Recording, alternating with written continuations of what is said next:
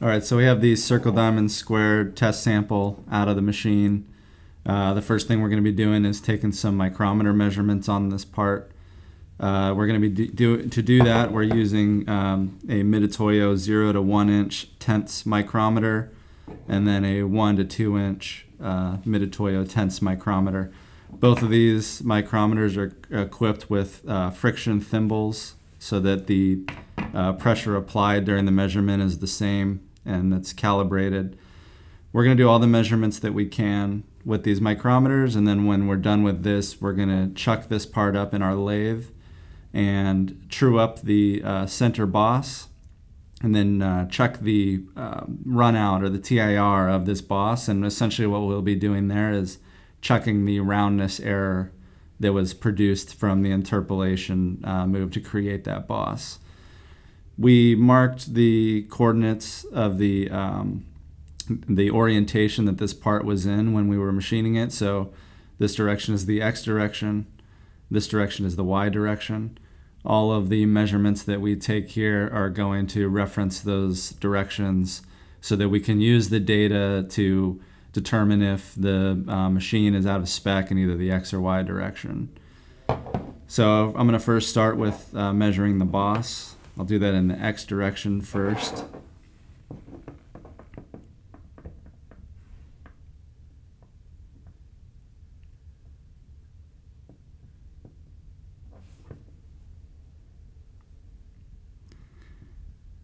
So it looks like I'm getting a measurement of 0.749 and about one tenth. So that was in the X direction. Now I'm going to check in the Y direction.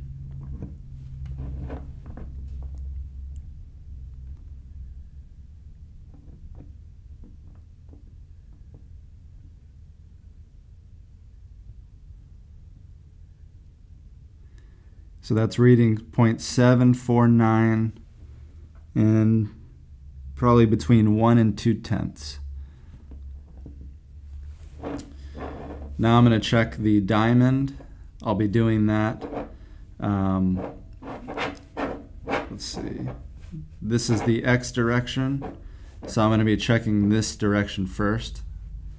And I believe I need the 1 to 2 mic to do that.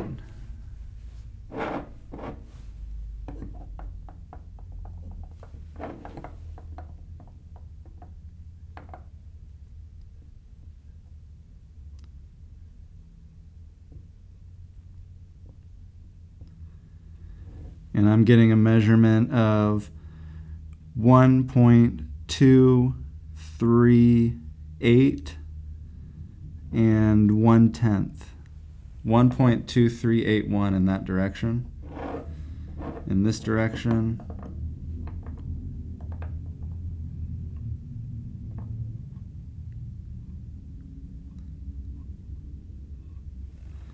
I'm getting a measurement of 1.237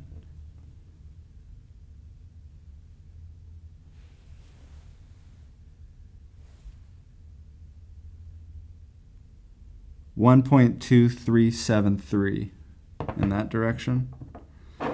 Now I'm going to move on to the square. I'm going to first check the x direction.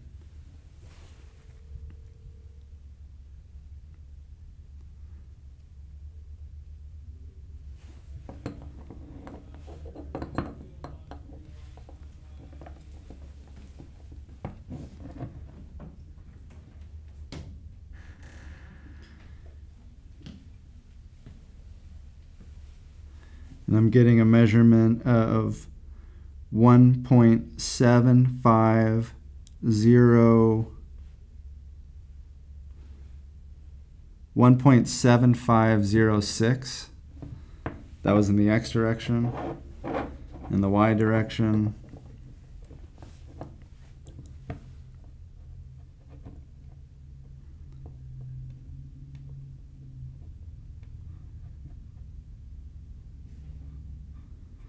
I'm getting exactly 1.750 in the Y direction.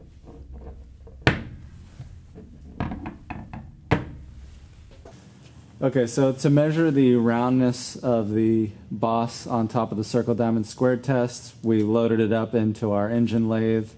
This lathe is equipped with a four jaw chuck, and basically what we did was trued up the parts so that we achieved the least amount of run out on the boss as possible. This is a good practical way to measure the uh, or sorry, the roundness of a uh, feature.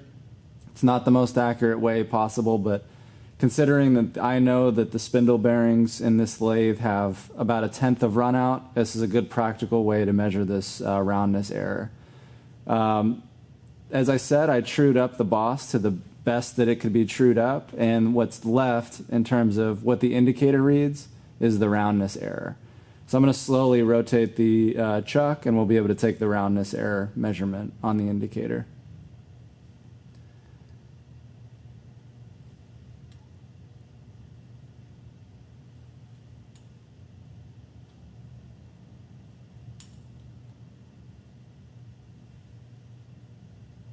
So the highest number that I've seen is about five, maybe six tenths.